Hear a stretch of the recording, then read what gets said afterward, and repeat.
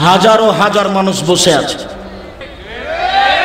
আমার জীবনে বক্তৃতার জগতে দুইটা কারণে বিচারের মাঠে টিকতে পারব কিনা আমার সন্দেহ হয়। তার একটা কারণ হচ্ছে, আমি কোনোদিন জাতির কাছে টাকা চাইনি, এ কথাই ঠিক। ইনি আমার বাম পাশে বসে আছেন, প্রায় দশ বারো বছর থেকে।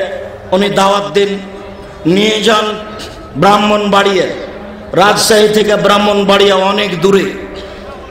তিনি কোনোদিন টাকা দিয়েছেন, তারপরে আমার মুখটা একটু বিবর্ণ দেখেছেন বা কোনোদিন বুঝতে পেরেছেন যে আব্দুর রাজাক সাহেব পথ খরচ চেয়েছেন। এরকম যদি কোনোদিন আঁচ করতে পারেন, এমনটা উনি বললে আমি জাতির সামনে কোনোদিন কথা বলব না। যদি উনি কোনোদিন আঁচ করে থেকেছেন যে আব্দুর রাজাক সাহেব বললেন যে বিজ্ঞাপন পোস্টারটা কেমন করে ছাপাবেন, একটু বলে দিবেন এইভাবে যে আব্দুর রাজাক বিন ইউসুফ ডবল কামেল ফার্স্ট ক্লাস ডবল দেওয়ার অফারে কিছু লিখবেন। এরকম যদি আমি কোনোদিন ইশারা ইঙ্গিত করেছি, এটা যদি উনি বুঝতে পারেন, আমার সামনে প্রমাণ করলে আমি জাতির সামনে কোনোদিন যাব না।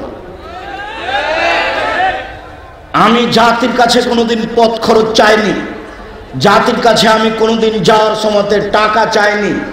আমি আমার জাতিকে পরিচয় দিইনি কোনোদিন। এরপরে আমার সন্দেহ হয়, যেই পরিস্থিতিতে দাওয়াত দিলাম, জনগণ তো টাকা দিচ্ছে, এই টাকার জবাব দিতে পারব কিনা তা আমার সন্দেহ হয়।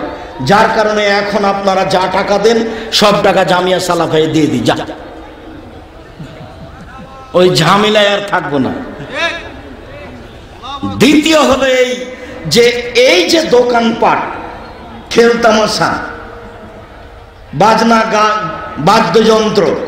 সারাদিন যে চলছে মেলার মতো, এর জব যদি আবার আমাকেও দেওয়া লাগে, তাহলে বিচারের মাঠে টিকব কীভাবে, তা আমি বুঝে উঠতে পারি না। আর একটা আমার ভেতরে দ্বিধাদ্বন্দ্ব কাজ করে সেটা এইটা। আর একটা দ্বিধাদ্বন্দ্ব কাজ করে যে এইটা তো সিজনাল বক্তব্য দেখি, শুধু শীতের দিনে হয়। আবার দ্বিধাদ্বন্দ্ব কাজ করে যে এত বিশাল খরচ করে জনগণ কাজ করছে, আমিও কিছু করি, এইটার জব বাকি হয়। এই নিয়ে আমার দুশ্চিন্তায় দিন কাটে। পরকাল কি হবে তা আমি এখনও বুঝে উঠতে পারি না, তবে আমাকে কেমন কেমন লাগে। এরপরে বলি যে আমার কোনো স্বার্থ নাই। ভুল ত্রুটি থাকলে পরিস্থিতির চাপে আমি সহ্য করতে পারিনি। তাই জাতির সামনে দুটো বই দিয়ে গেছি। একটা বইয়ের নাম বক্তা শ্রোতার পরিচয়। কে বক্তা, কে শ্রোতা, আর একটা বইয়ের নাম তাফসির কি মিথ্যে হতে পারে? এই দিয়ে আমি এদেশের তাফসির মাহফিল বন্ধ করতে চেয়েছি। বক্তা, শ্রোতা দিয়ে এরকম জনগণ বক্তা হোক, আর এরকম জনগণ শ্রোতা হোক, এটা আমি নাকচ করেছি। আমার কাছে বিদ্যা একেবারেই কম তবু জাতির কাছে এটা দিয়ে গেছি। সম্মানিত দিনী ভাই বোন এটা আমার ভীতি, আশঙ্কা কাজ করে।